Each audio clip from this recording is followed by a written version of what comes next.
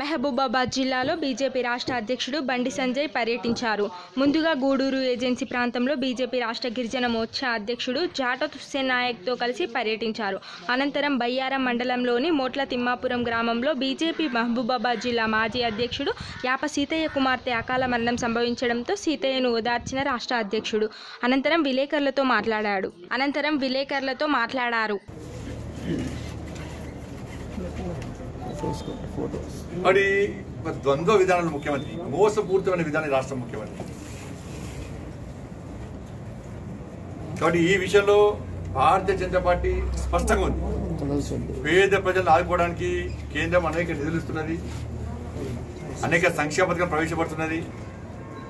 అనేక తండాలలో కూడా ఇప్పటికీ అధికారం రావాలి పేదలకు అధికారం రావద్దని చెప్పి ఒక దురాలోచనతో ఈ రాష్ట్ర ముఖ్యమంత్రి ద్వంద్వ విధానంతో వివరిస్తుంది కాబట్టి తప్పకుండా ఈ రాష్ట్ర ముఖ్యమంత్రి యొక్క అవినీతిని బహిర్గతం చేస్తాం. రాష్ట్ర ముఖ్యమంత్రి యొక్క అనాలోచిత విధానాలకు వ్యతిరేకంగా స్వార్థపూరిత రాజకీయాలకు వ్యతిరేకంగా కుటుంబ పాలనకు వ్యతిరేకంగా భారతీయ జనతా పార్టీ మలి దశ ఉద్యమాన్ని చేపట్టబోతున్నది.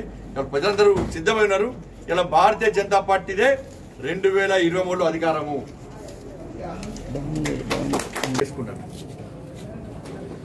మీకు వాళ్ళకు ప్రత్యేకంగా వరకన్నా ఉపాధి కల్పించండి. ఏమి ఉపాధి లేకుండానే లేకపోవడం వల్లనే కుటుంబ పోషణ భారమై ఆ స్థలాన్ని నమ్ముకొని వాళ్ళు వ్యవసాయం చేసుకుంటారు. వందల ఎకరాలు ఐదు వందల ఎకరాలు యాభై ఎకరాలు ఇరవై ఎకరాలు లేదు వాళ్ళకి. వాళ్ళు అడవులను నమ్ముకొని ఆ ప్రాంతాలను రక్షిస్తున్నారు. కాబట్టి వాళ్ళకు చెందిన స్థలాలు వాళ్ళు ఇన్ని రోజులుగా అన్ని రకాల లావణి పట్టాలున్నాయి. అన్ని రకాల డాక్యుమెంట్స్ ఉన్నాయి వాళ్ళకి. కేవలము ఒక దురుద్దేశంతో హరితారం పేరుతోని కోట్ల రూపాయలను దారి మళ్ళించి జేబులు నింపుకునే ప్రయత్నంలో భాగమే ఇలా ఐదు సంవత్సరాల నుంచి ఇష్టానుసారం దోసుకుంటున్నాడు. ముఖ్యమంత్రి జనగిసి పెట్టిన రోడ్ల మీద పెట్టిన బడి దగ్గర మీరు దోసుకున్నారా మీరు?